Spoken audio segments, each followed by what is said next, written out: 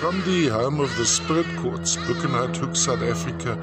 Somewhat unusual form of the spirit quartz. This all sat on a pretty flat matrix.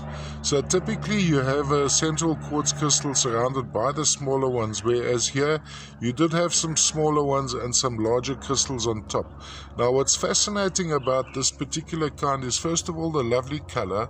You'll see color concentration around the edges gets propagated right through, almost a dark purple going almost into a black-like uh, appearance. So dark is the purple.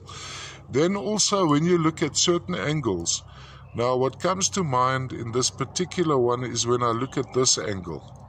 And there's a very, very lovely phantom inside there. Often also I find little pyrite uh, uh, cubes trapped inside these quartz crystals.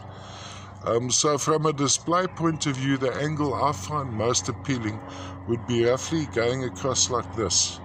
But if you have it on a turntable going all the way around, so it'll stand flat like this, you'd have the more typical uh, fun quartz formation there with a smaller, a smaller crystal sitting around the, the bottom, across like that terminations pretty much intact all the way from South Africa, from the home of the spirit quartz, and surrounds.